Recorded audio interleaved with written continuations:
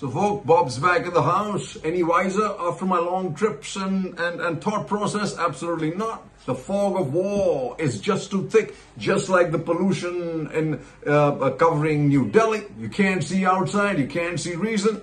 It's only retribution. And let's just see first, I'll lead up to the one main question that I'll put up at the end of this thing. So please see my uh, video till the end and maybe you guys can answer. And what was I uh, seeing before I left? With their soldiers poised to attack, Israelis trying to decipher delay, critical supplies stuck at Egypt Gaza border. But look at this.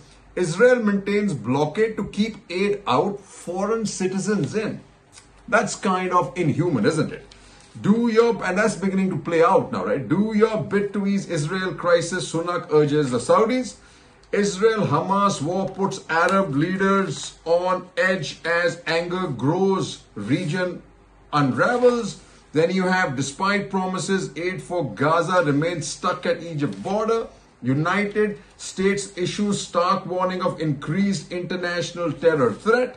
Spillover from crisis darkens door of Muslims living in Europe. Mosul battle offers cautionary tale for fiendishly difficult task in Gaza. This Mosul and Iraq and Afghanistan actually do have a, a, a huge lesson for Israel. And let me just tell you about Israel. One thing that I've learned. Degraded Netanyahu. Can he be tried as a war, war criminal? Probably. All done for his own or for his own political uh, uh, purposes in Israel. He's destroyed the entire institutions. The halo of invincibility gone. But do remember, without the region, without Saudi Arabia, Israel really, really, really doesn't have much that it can, uh, uh, uh, much hope for survival. And the United States, of course. At some point of time, the way the demographics of the United States is changing, right? The liberal left is not going to give Biden a, a, a, hope in hell because they're absolutely calling it genocide. And I'll tell you how that, that's beginning to play out, right?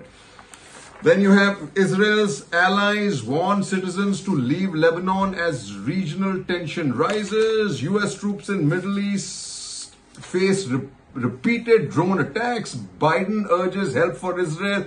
Ukraine in Oval Office speech. In turmoil of two wars, Biden sees US leadership as essential. It's kind of become, right? Biden makes case to US in seeking wartime aid for two allies. Deal is reached on aid through Egypt to Gaza as desperation mounts. And then this is what I like I said, right? As somebody Biden has said. Biden's warning how war on terror backfired, and that's Afghanistan, right? And also Mosul, right, which I just read out.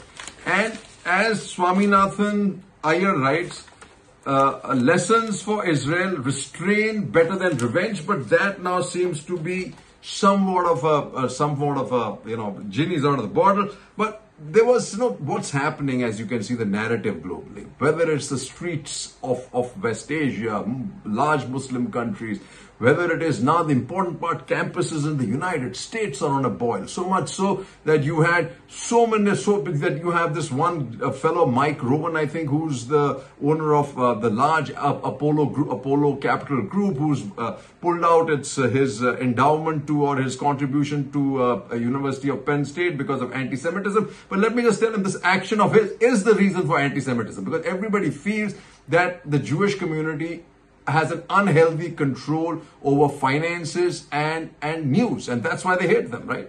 Do I blame them? Probably not. Now here we have somebody in my, and there's also royal in all our WhatsApp groups, you know, for and not for, so for. The right wing in, in even our country is beginning basically defends Israel's action, right? So you have somebody who mentioned that killing of civilians is, is, is, is, is, is not, is not called for, not to the extent of this, right? And somebody in that said, couldn't agree more. Hamas in Gaza, Lakshar in Mumbai, pattern and intent same. Go for civilians when retribution comes. Play the victim card. Absolutely wrong, my friend. I'm not going to name you. Absolutely wrong.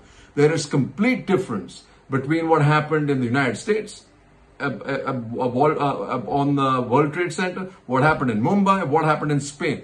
There is what you call uninsured interests, which means that the people who are attacking Uh, uh, uh, the United States there, India here, Bombay here, innocent civilians, is completely, they didn't have any stake in the game. And you can retaliate against them. You can figure out how to do that. But in Gaza and the Palestinians, it's about, again, this is this their land. Who's going to, are you telling me it's not their land? Yes, of course it's their land. It's, it's a forced geographical concoction that happened in 48 and then some mythological, historical, uh, you know, uh, Red Sea and, and, and everything else. But absolutely different between what is killing of civilians as far as Mumbai was concerned, as far as as far as uh, as uh, the United States was concerned. This is completely wrong, and I disagree. Where were you were on this group, right? And then you have this. Sunak holds productive talks with Saudi Arabia after vowing to stand with Europe. And then this is the beautiful part. How Hamas caught US and Israeli intelligence unaware. And this really was the story.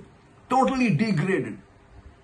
Right? He says, one clear lesson is that human intelligence, that is old fashioned spying, has been neglected. Why is that? Because he had all his spies spying on his opponents. And what do you have to worry about now, right? Is, is, is something else that who created this, right? Just think about this. There's another gentleman who wrote, a very intelligent fellow, where what Hamas did with the recent attack was not justified. Absolutely not. However, please do consider the systematic throttling of a certain community over extended periods of time to be good enough reason for the existence of Hamas. Then again, there are other questions. Who created Hamas? Who created Hamas? Who used them and for what? And it is clear intelligence. This was Netanyahu's game to build Hamas against the Palestinian, the more liberal left Palestinian liberal, uh, liberal or, uh, or Palestinian Liberation Organization in West Bank. Who used them and for what? Who funds them? And and who triggered the current Hamas attack? And these are critical questions that you must ask yourself. And Here's a, here's a piece that I just read. Netanyahu has helped feed the Hamas monster. He says Israel's response now risks creating a yet another generation of Palestinians filled with fury and hate so that the cycle continues and Israelis can never feel secure in their homeland. Jonathan Freedland rightly condemns Benjamin Netanyahu for his government's failure to protect Israeli citizens, but he could have broadened his argument to highlight the culp- culpability of Netanyahu and his predecessors for putting them in harm's way in the first place. This is something you uh, guys you should understand and, and, and, and acknowledge. Then you have attack cost Netanyahu core supporters. This is beginning to play out, right? And you have uh, uh, what do you have here? You have Netanyahu rebuffs US call for pause and strikes on Gaza. This is all today. Mid East tension echoing on campuses, like I said in the United States, and there's going to be hell to pay. GOP renews its fight. Uh, then you have High Court. Then you have Hamas rebuilt its arsenal with Iran help. That's obvious. Somebody help them. Hezbollah leader warns Israel that a regional war is possible, and that is something that the United States is desperately trying to avoid. Then you had this risks multiply in Israel's invasion as Israel's invasion expands. And why the other people you can blame is the Arabs. Arab leaders don't care about Palestinians, and that is absolutely true, he says. The support offered by governments in the Middle East does not extend to taking in any refugees or anything else. Then you have this. Blinken to press Israelis for pause to help uh, get aid and hostages out. Then you have troops encircle Gaza City as Israel backlash grows. Uh, then you have in policy switch, US urges human, humanitarian pause for aid, which he did. Qatar, uh, Biden meets Chinese. This is this is not important. And on this one, fractured democracies embolden their enemies. Just remember this, and what and this is true for us too. Just remember, what does he write? He says. Netanyahu's polarizing politics divided and arguably distracted Israel. There's a stark warning here for its Western allies. Okay. And from here we go to something that I've always said that uh, uh, Israel fouled up on, and that was essentially where do we where do we have it?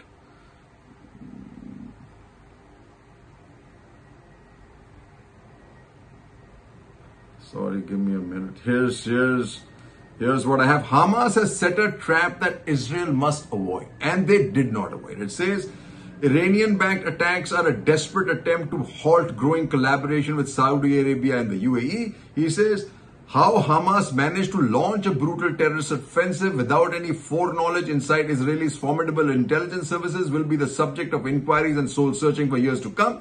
To pull off such a feat will have required absolute secrecy among a tiny leadership group, giving last minute orders to their followers and working only by word of mouth, but it has also needed complacency and distraction in Israel's leadership.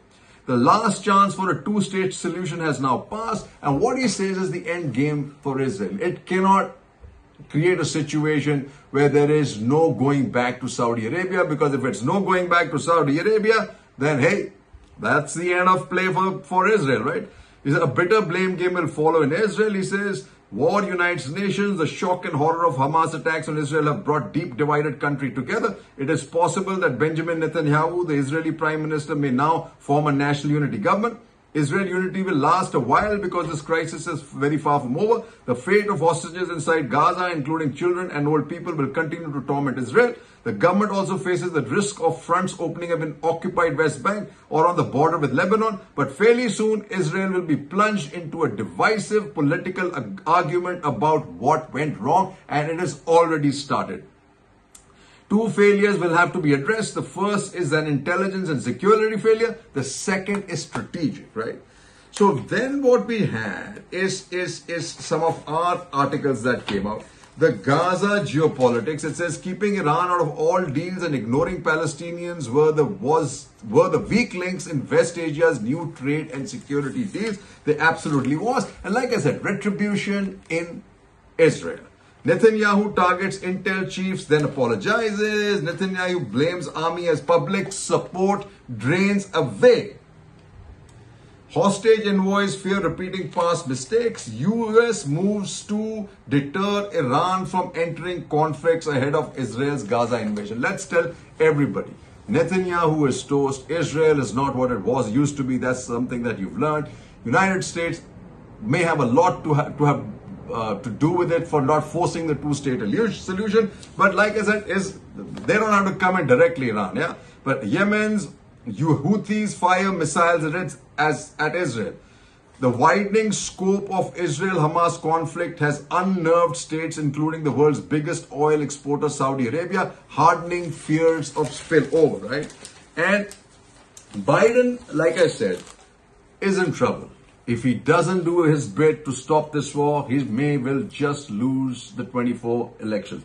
Biden backing genocide. We will remember in 24. This is Rashida Tlaib, and she's one of the Democrats, the liberal left, right? Between Israel and a hard place, right? Seema Sirohi, she puts it very nicely. She says, Joe Biden is under increasing pressure at home and abroad for his careful balancing act in Israel. Hamas war as he tries to deter wider conflict with pro-Palestinian protests in major cities and Israel launching a ground invasion of Gaza, demands are mounting for an immediate ceasefire. Whether Biden can force a lid on Israel's military operation with tough love on one hand and regional tensions with a show of force on the other remains to be seen. It's going to be tough, right? And like she wrote, she said, spaghetti West Asian. Joe Biden's show of solidarity with Israel while acknowledging the plight of Palestinians is wise, but that was a while ago. But what she wrote then is coming true now. She says, death of the illusion that the US could have unsettled region in the arms of new alignment smelling uh, faintly of peace is hard for Washington to bear. A new West Asia seemed so close after the Abraham Accord as Arab states began to look at the future, not in the past, to imagine an economic corridor to Europe to transport groups, not grievances, uh, goods, not grievances, seemed plausible, not foolish. Last month, a top US official boasted to an elite audience that under Joe Biden, the Middle East region is quieter today than it was been for two decades. Not so, said the many actors with many agendas who run a parallel world out there, and not the least Russia and China. The region is on the edge, passions are inflamed, streets are bursting, and laments are piercing the quiet. History came brutally back to claim its due when Hamas bulldozed its way from Gaza into Israel. All the deterrence money could buy was demolished with cheap, repurposed drones and jammers, leaving a painful lesson for all, all, not just for Israel. And this is true for India too, folks.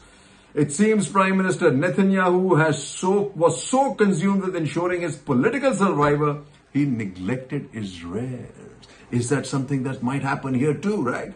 Asia will test America's limits, its resources, both military, diplomatic, and its influence. So here let me talk about nationalism.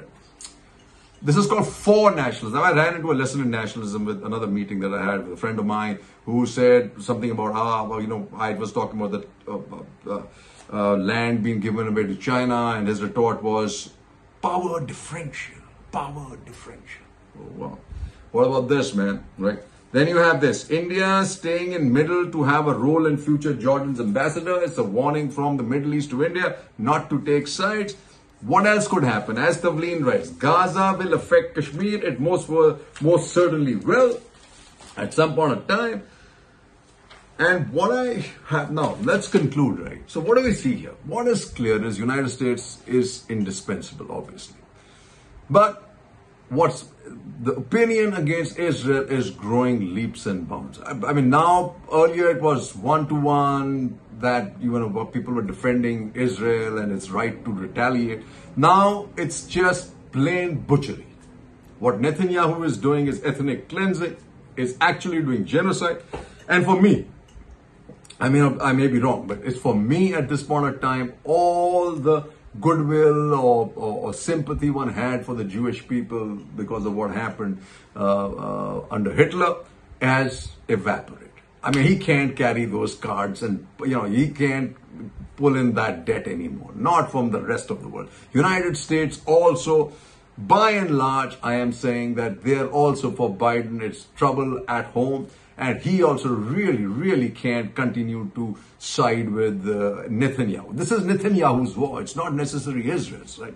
If you had somebody smarter as a prime minister, in fact, now I'm seeing a lot of reports coming out of England, out of, out of the United States, who are actually asking for Netanyahu's removal, and a report suggesting very, very clearly that he's the wrong man for the wrong job. It's, it's just not him. It, he shouldn't be there at all. So, folks, at the end of the day, the world this, the war of the fog of war, it's not clearing up yet. Gaza, like Mosul, like Afghanistan, is a hellhole. And I can tell you this, this I'm sure IDF is not capable of, of taking this, this, this running this urban landscape war for much longer without United States help, and even with the US help. But think about it: US failed in Mosul, US failed in Afghanistan, and had to run. Right at the end of the day, when people are fighting for their land, which Palestinians are, they are, you will never be able to to to bludgeon them out of existence. Right? You can't. Three cheers and Jay.